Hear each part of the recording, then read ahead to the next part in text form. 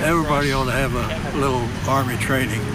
It was a it was a good experience and came out of it in good shape. So I was I was real happy to be to be part of it. It was an honor to serve. Yes. They were teenagers back then and in their 90s now, but September 2nd, 1945 is a day that all of these World War II veterans could tell you exactly where they were, what they were doing, and what it felt like to hear that the war was over. This is where I landed when I was coming home.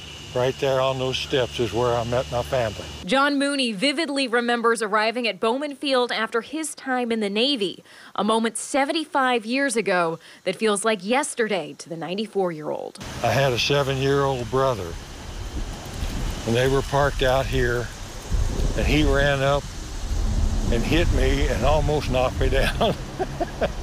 Mooney spent a year aboard the USS Walker, a destroyer stationed in the Pacific. It was a great adventure for an 18 year old. I wouldn't want to do it again, but given the same circumstances, I would. Mooney was one of four veterans brought together by Honor Flight Bluegrass, an organization dedicated to honoring their service. Of the 16 million men and women who served during World War II, there's only 300,000. They're disappearing at a rapid rate, and they need to be recognized while there's time to do so. The highlight of the day for 93-year-old Vincent Grammarosa was a ride in an authentic World War II Jeep. It was the Army veteran's first time riding in one since the war. How was it? Beautiful. Took me back a few years. 75 years later, he looks back on serving his country with pride. Being in the service, I knew what I had to do.